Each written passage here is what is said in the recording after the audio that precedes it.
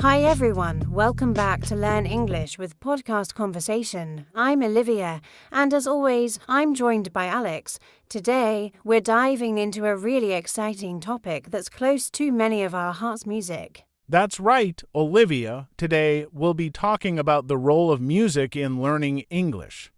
Music is not just entertainment, it's a powerful tool for language learning. Whether you're singing along to your favorite songs or analyzing lyrics, music can make learning English fun and effective. Absolutely. Alex, we'll explore how different genres, rhythms, and even cultural aspects of music can help improve your vocabulary, pronunciation, and listening skills. So, whether you're a beginner or advanced learner, there's something here for everyone. So grab your headphones, get comfortable, and let's discover how you can use music to enhance your English learning journey. Let's start with one of the most obvious benefits lyrics. When you listen to songs in English, you're exposed to a rich vocabulary and various sentence structures. It's like reading a poem but with a catchy beat. Take a song like Imagine by John Lennon. The lyrics are simple yet profound, and they help you understand different tenses and expressions. That's a great point. Alex, lyrics often use colloquial language, idioms, and phrases that are commonly used in everyday conversation. So, by learning the lyrics, you're not just learning words, you're learning how native speakers actually use the language. For example, phrases like Let It Be from the Beatles aren't just words. They carry meaning and context that can enrich your understanding of English. And the repetition in songs helps reinforce those words and phrases. When you hear a chorus over and over, it sticks in your mind, making it easier to remember and use those expressions in your own conversations. Plus, songs often tell stories or convey emotions, which can help with comprehension and retention. If you're emotionally connected to a song, you're more likely to remember the lyrics and the vocabulary within it. It's a fun and natural way to improve your language skills. One of the best ways to practice pronunciation is through singing. When you sing along to English songs, you're mimicking the sounds, intonation, and rhythm of native speakers. This can help you develop a more natural accent and improve your fluency. And it's not just about fast songs, even slower songs, like ballads, can be beneficial. They allow you to focus on each word, understand the nuances of pronunciation, and practice the intonation. For instance, listening to and singing along with a song like Someone Like You by Adele can help you with vowel sounds and emotional expression. And let's not forget about the benefits of singing in groups like in a choir or karaoke. Singing with others can build your confidence and help you practice speaking English in a social setting, which is just as important as learning on your own. That's a great point. Alex, when you sing with others, you're also exposed to different accents and pronunciations, which can broaden your understanding of how English can be spoken in various ways. Moving on, let's talk about how different music genres can help you expand your vocabulary. Each genre of music tends to use specific types of language and themes. For example, country music often tells stories about life, love, and hardships, which can introduce you to a lot of descriptive and emotive language. That's true, Alex. And if you listen to hip hop or rap, you're likely to encounter a lot of slang and street language, which is useful for understanding modern, urban English. It's a genre rich with cultural references and idiomatic expressions. On the other hand, classical music, especially when accompanied by operatic lyrics, can introduce you to more formal or poetic language. Even if you're not singing along, understanding the themes and vocabulary in classical pieces can help you appreciate the depth of the English language. And let's not forget about pop music, which often uses everyday language. Pop songs are usually easy to understand and are perfect for beginners who want to learn basic vocabulary and phrases. Songs like Shape of You by Ed Sheeran are catchy and repetitive, making them ideal for language learning. Listening to different genres can also expose you to different accents and pronunciations. Whether it's British rock, American blues, or Australian indie, each style can teach you something new about the way English is spoken. And it's a great way to stay motivated, too. If you love a particular genre, you're more likely to listen to it often, and that repeated exposure is key to language acquisition. Music is a window into culture, and by exploring different types of music, you can learn a lot about the cultures where English is spoken.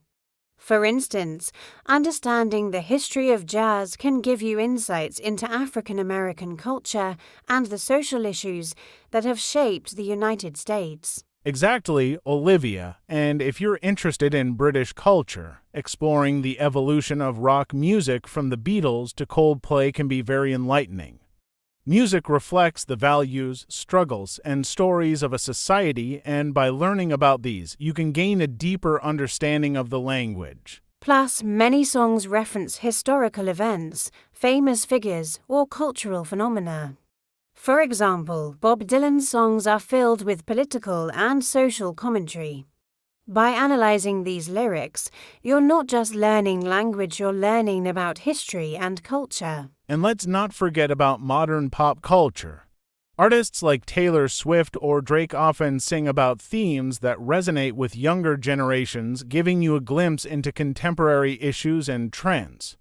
This can help you stay current with language that's being used by younger English speakers today. And it's not just about the lyrics, the style of music, the instruments used, and even the fashion of the artists can tell you something about the cultural context.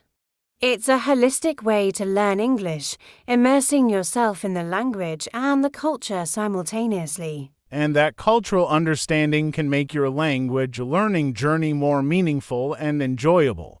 When you know the story behind a song or the culture it represents, it adds depth to your learning. Now, let's talk about how music can enhance your listening skills.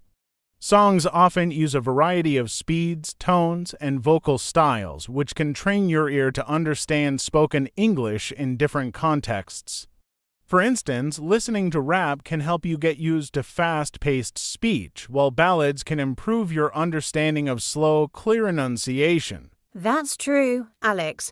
And because music is often repetitive, it reinforces what you're hearing, making it easier to pick up on new words and phrases.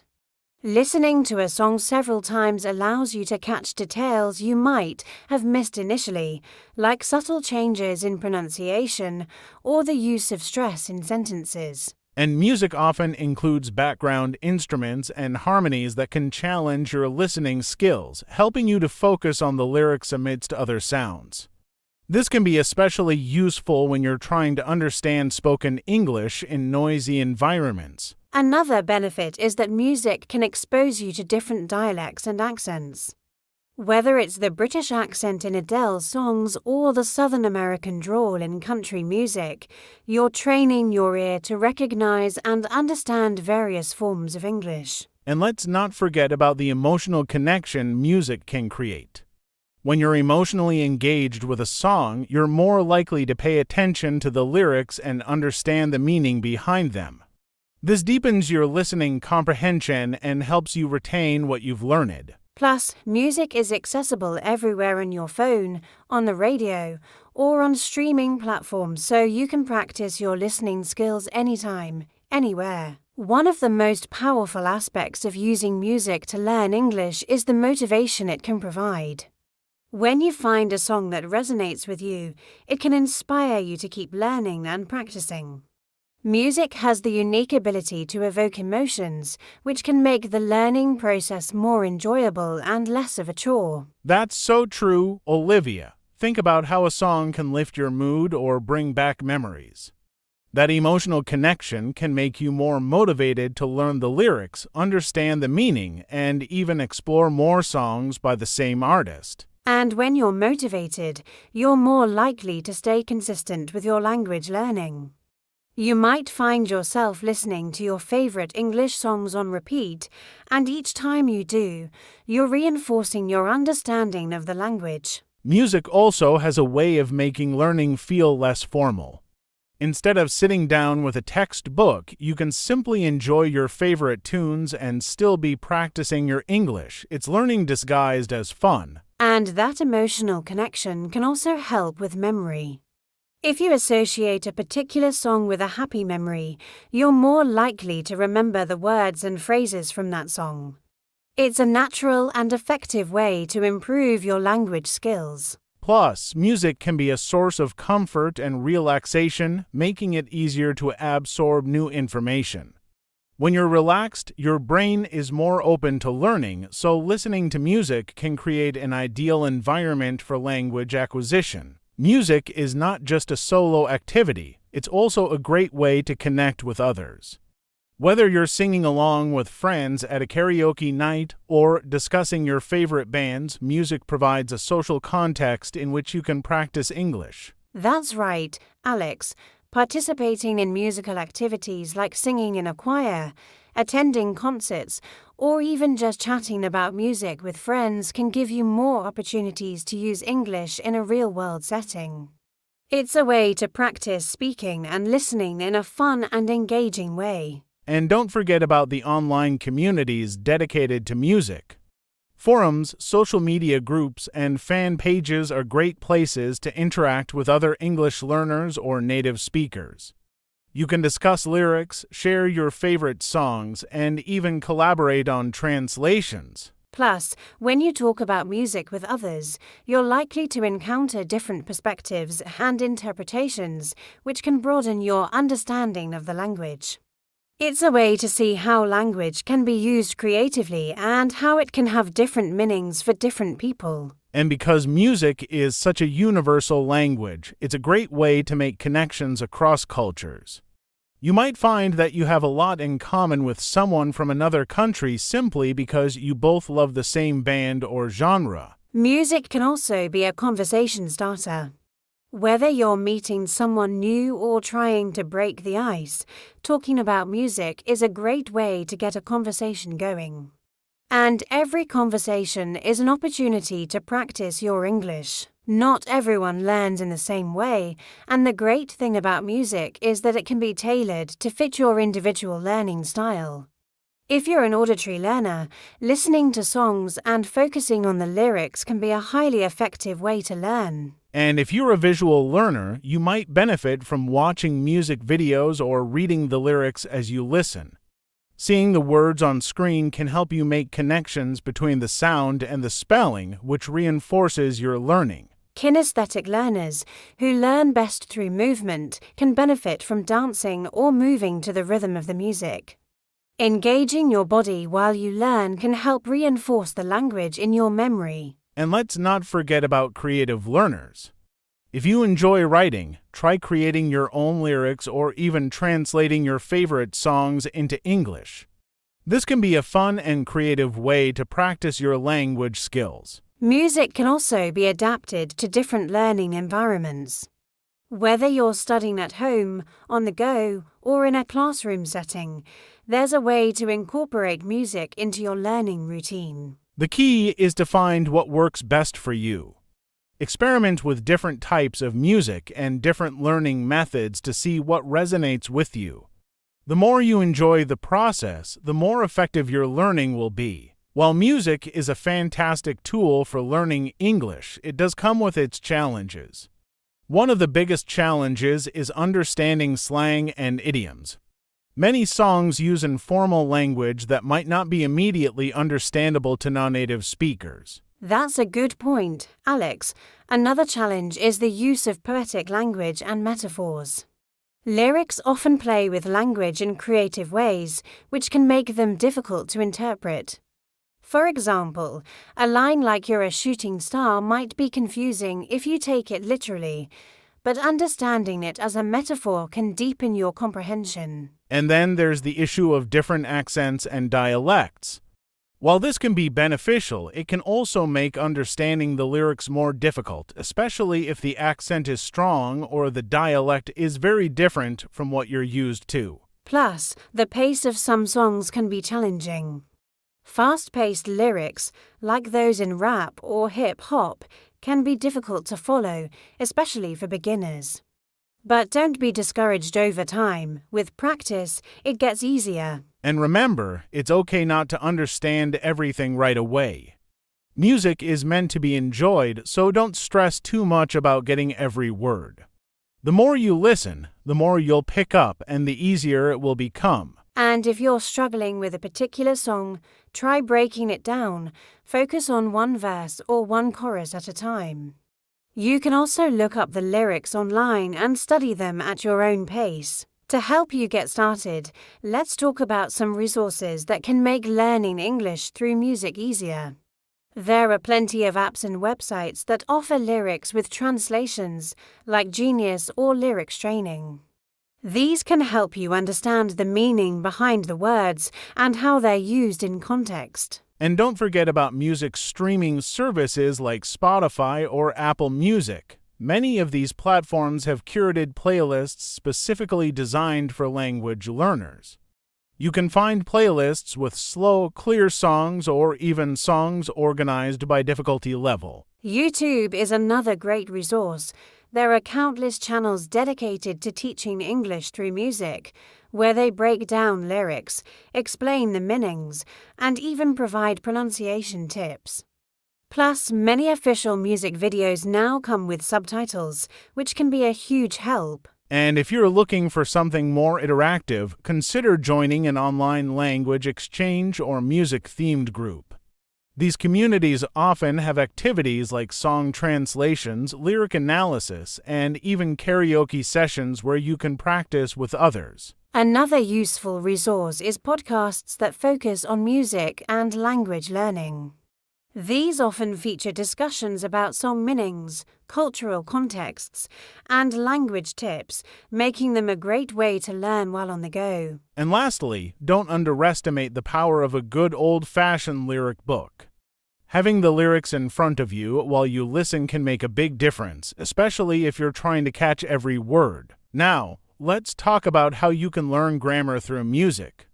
Songs often contain grammatical structures that are used in everyday speech, making them a great resource for learning how sentences are formed in English. Exactly, Alex. For example, many songs use the present continuous tense, like I'm walking on sunshine. Listening to these structures in context helps you understand how they're used naturally in conversation. Songs can also teach you about verb conjugation. Repeatedly hearing verbs in different tenses, like she loves me, she loved me, reinforces your understanding of how verbs change depending on the time frame. And don't forget about the passive voice. A line like It's All Been Done Before is a perfect example of how songs can illustrate grammatical concepts in a way that's easy to remember. Songs also often use conditional sentences, like if I were a boy, which can help you get a feel for how these structures are used in everyday speech. And then there's the subjunctive mood, which is often tricky for learners. Phrases like I wish I were can be found in many songs, helping you understand when and how to use this mood correctly. So, the next time you're listening to your favorite song, pay attention to the grammar. It's a fun and effective way to reinforce what you've learned in your English classes. Let's dive into how music can help you expand your vocabulary. Songs are full of words and phrases that you might not encounter in a textbook. From slang to idiomatic expressions, music exposes you to a wide range of vocabulary that can enrich your language skills. That's right, Olivia. Listening to music is a great way to pick up new words in context. For example, a song might introduce you to a new way of saying something, like hit the road instead of leave. And because songs are often repetitive, you'll hear these new words and phrases multiple times, which helps with retention. The more you hear a word, the more likely you are to remember it and start using it in your own speech. Music also introduces you to different registers of language. Some songs use formal language, while others are more casual. This can help you understand when it's appropriate to use certain words or phrases. And don't forget about the cultural references. Many songs include references to popular culture, historical events, or famous places. Understanding these references can help you become more fluent in the cultural aspects of the language. So, whether you're learning new slang or brushing up on your idioms, music is a treasure trove of vocabulary that can help you sound more natural when you speak English. And the best part is, you're learning without even realizing it. You're just enjoying the music, and before you know it, you've added new words to your vocabulary. Repetition is a key component of music, and it's also a powerful tool for language learning. When you listen to a song, the repetition of lyrics helps reinforce the language in your mind. That's right, Alex. The chorus of a song, which is often repeated several times, can be particularly effective in helping you remember phrases and vocabulary. The more you hear it, the more it sticks in your memory. Dot dot. And because songs are catchy, you're likely to find yourself repeating the lyrics in your head even when you're not listening to the music. This kind of mental rehearsal is great for reinforcing what you've learned. Repetition in music also helps with pronunciation. By repeatedly hearing and singing along to the same words, you're practicing the sounds and rhythms of English in a natural and enjoyable way. And the great thing about music is that you can listen to the same song over and over without getting bored. This means you can get plenty of repetition without it feeling like a chore. So, if you find a song you love, don't hesitate to play it on repeat. It's one of the best ways to make the language stick. One of the fascinating aspects of learning English through music is that it gives you insight into cultural nuances. Music is a reflection of the culture it comes from, and by listening to English songs, you can learn a lot about the cultural context in which the language is used. That's so true. Olivia, for example, many songs reference holidays, traditions, and social norms that might be unfamiliar to non native speakers. Understanding these references can give you a deeper appreciation of the culture and help you use the language more appropriately. Music also often deals with themes like love, friendship, and social issues, which are universal but can be expressed differently in different cultures. By listening to songs, you can learn how these themes are expressed in English and how they resonate with people in English speaking cultures. And let's not forget about the historical and political context. Some songs are written in response to specific events or movements, and understanding this context can help you grasp the deeper meaning of the lyrics. So, when you listen to English music, you're not just learning the language, you're also gaining insight into the culture, history, and values of English speaking communities. And this cultural understanding can make you a more effective communicator, as you'll be able to navigate conversations with a greater awareness of the context in which the language is used. Music isn't just for listening, it's also a great tool for practicing your speaking skills. One effective technique is to sing along with the lyrics. This helps you practice pronunciation, rhythm, and intonation in a fun and engaging way. That's a great tip. Alex, another method is to read the lyrics out loud before you sing them. This can help you get comfortable with the words and phrases before you try to match them to the music. You can also try shadowing, where you listen to a song and try to speak or sing along at the same time as the singer. This is a great way to improve your fluency and timing. And if you're feeling confident, you can even try recording yourself singing or speaking along to a song. Listening back to the recording can help you identify areas where you might need to improve your pronunciation or rhythm. Another fun idea is to write your own lyrics to a tune you know. This not only helps with vocabulary and grammar, but also gives you a chance to practice your creative writing skills in English. And don't worry about sounding perfect. What's important is that you're practicing and getting more comfortable using the language. Music is a low pressure way to practice speaking, so have fun with it. Music has a unique ability to evoke emotions, and this emotional connection can enhance your language learning. When you feel an emotional response to a song, you're more likely to remember the lyrics and the language used. That's so true, Olivia. Music can make you feel happy, sad, excited, or nostalgic, and these emotions can create strong memories associated with the language.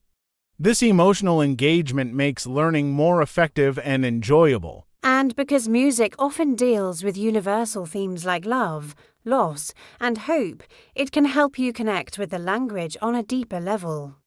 Understanding the emotions behind the lyrics can give you a greater appreciation for the nuances of English. Plus, when you find a song that really resonates with you, you're more likely to listen to it repeatedly, which, as we mentioned earlier, is great for language retention. So, don't be afraid to explore different genres and find the music that speaks to you.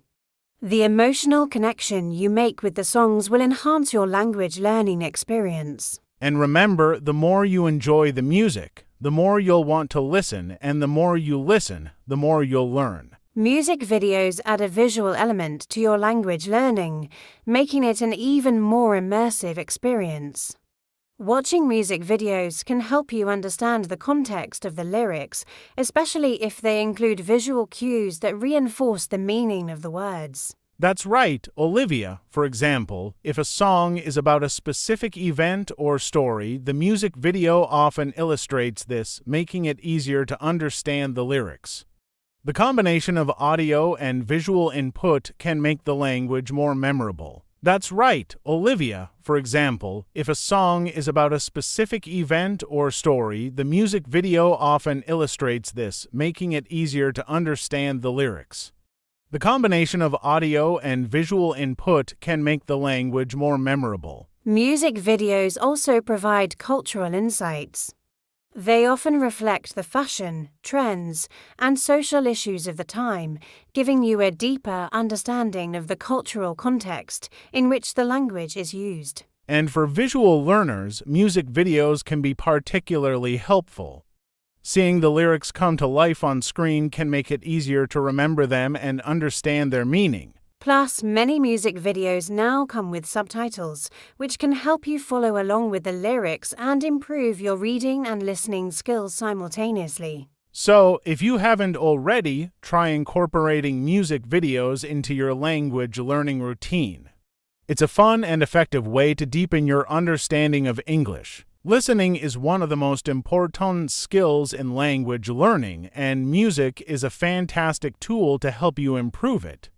When you listen to songs, you're training your ear to pick up on different sounds, rhythms, and intonations in English. That's right, Alex. Music can expose you to different accents and dialects, helping you become more adaptable in understanding various forms of spoken English. And because songs often contain repetitive lyrics, they give you plenty of opportunities to practice listening for specific words and phrases.